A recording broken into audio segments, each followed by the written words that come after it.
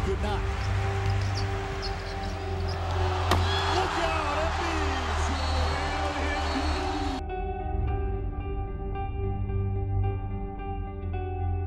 Just Tarik Black. Mason. Oh! Selden throwing it down to the lob.